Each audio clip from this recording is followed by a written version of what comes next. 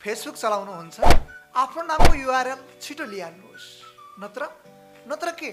नत्र नेपालमा एउटै नाम र थर भएका धेरै व्यक्तिहरू छन्। हो उहाँहरूले त्यो नामको युआरएल लिनुभयो भने तपाईँले पाउनुहुन्न। ढिला गऱ्यो भने तपाईँले पाउनुहुन्न। अब फेसबुकको युआरएल लिएर के हुन्छ त? यसको बारेमा बताउँछु। सुरुमा त तपाईँको फेसबुक ह्याक भयो भने फेसबुक टिमसँग तपाईँले कुरा गर्दा तपाईँले त्यहाँनिर आफ्नो युआरएल दिनुपर्ने हुन्छ। हो यस्तो केसमा तपाईँको युआरएल तपाईँलाई याद हुँदैन तर तपाईँले युआरएल चेन्ज गर्नुभयो भने सजिलो राख्नुभयो भने आफ्नै नामको बनाउनु भयो भने तपाईँलाई जिन्दगीभर याद हुन्छ र तपाईँले सजिलै दिन सक्नुहुनेछ र तपाईँको फेसबुक ब्याक हुनसक्छ। त्यस्तै तपाईँको फेसबुक आधिकारिक एन्ड कि अफिसियल हुन्छ। हेर्दा युनिक देखिन्छ। युआरएल अथवा लिङ्क हेरेर कसको फेसबुक हो? पत्ता लाग्छ। नयाँ कोही व्यक्तिले सर्च गर्दाखेरि तपाईँको फेसबुक सबभन्दा सुरुमा एक नम्बरमा ऱ्याङ्क गर्छ।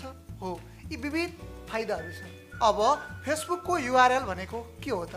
तपाईँको फेसबुकसँग जाने एउटा माध्यम हो बाटो हो। युआरएलको माध्यमबाट हामी आफ्नो अथवा अरूको फेसबुकसम्म पुग्ने गर्दछौँ र फेसबुकको छोटो चिनारी अथवा छोटो रूप युआरएल पनि हो। अब आफ्नो फेसबुक प्रोफाइल लिङ्कलाई कसरी कस्टमाइज गरेर सर्ट अथवा छोटो बनाउन सक्छौँ त्यो देखाउन गइरहेको छु। सुरुमा तपाईँले आफ्नो फेसबुक प्रोफाइललाई ओपन गर्नुहोला। त्यसपछि माथि तपाईँले प्रोफाइल आइकन देख्न सक्नुहुनेछ। त्यहाँ क्लिक गर्नुहोला र त्यहाँ नाम देख्न सक्नुहुनेछ। त्यहाँ क्लिक गर्नुहोला।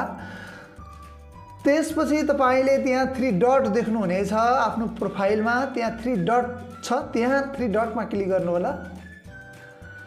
थ्री डटमा क्लिक गरिसकेपछि तपाईँले अलिकति स्क्रोल गर्नुहोला मासतिर। त्यसपछि त्यहाँ योर प्रोफाइल लिङ्क भनेर एउटा लिङ्क देख्न सक्नुहुनेछ। जुन लिङ्क केही नबुझ्ने छ होइन? यसलाई सरल सहज र बुझ्ने बनाउने र आफ्नो प्रोफाइल नेमसँग मिल्दो पनि बनाउनु पर्ने हुन्छ। कसरी बनाउने त्यो तपाईँलाई देखाउन गइरहेको छु। त्यसको लागि तपाईँले अब आफ्नो यसै फेसबुकमा कनेक्ट भएको म्यासेन्जरलाई ओपन गर्नुपर्ने हुन्छ। अब म म्यासेन्जर ओपन गर्न गइरहेको छु। अब म्यासेन्जरलाई ओपन गरिसकेपछि त्यो माथि थ्री आइकन देख्न सक्नुहुनेछ तपाईँले। हो त्यो थ्री आइकनमा तपाईँले क्लिक गर्नुपर्ने हुन्छ। त्यसपछि माथि सेटिङ बटन देख्न सक्नुहुनेछ। सेटिङको बटनमा क्लिक गर्नुपर्ने हुन्छ।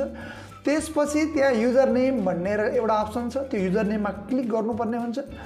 हो युजर नेममा क्लिक गरिसकेपछि एडिट युजर नेम छ। त्यहाँ क्लिक गर्नुहोला।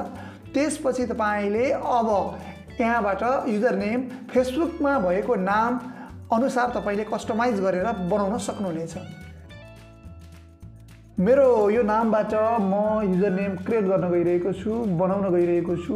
मेरो नाम जीवन राज दाहालबाट युजर नेम बनेको छ कि छैन भन्दा मैले यो पहिला लाइक पेजमा युज गरिसकेको छु। यो चाहिँ है जीवन राज दाहाल। अब यसलाई म थोरै युनिक बनाउनु पर्ने हुन्छ मैले।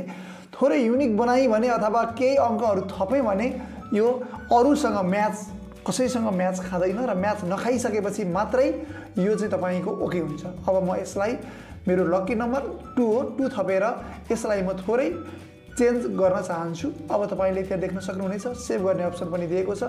अब यसलाई म सेभ गर्छु त्यहाँबाट। यो सेभ भइसकेपछि म आफ्नो मेसेन्जरलाई बन्द गरी फेसबुकमा जान्छु र तपाईँलाई फेरि देखाउन चाहन्छु कि युजर नेम अघि कस्तो थियो अहिले कस्तो छ। एकचोटि रिफ्रेस गर्छु यसलाई म अघि खोलेको फेसबुक। रिफ्रेस गरेपछि तपाईँले तल देख्न सक्नुहुनेछ मेरो user name Jivanraj Dahal two भनेर यसरी चेन्ज भएर आइसकेको छ। तपाईँले पनि आफ्नो फेसबुक प्रोफाइल लिङ्कलाई कस्टमाइज गरेर छोटो याद हुने र आफ्नो नामको बनाउन सक्नुहुनेछ आजको यस भिडियो तपाईँलाई कस्तो लाग्यो? यस्तै यस्तै भिडियोहरू हेर्नको लागि हाम्रा भिडियोहरूमा लाइक कमेन्ट सेयर र च्यानलमा सब्सक्राइब गर्न नबिर्सिनुहोला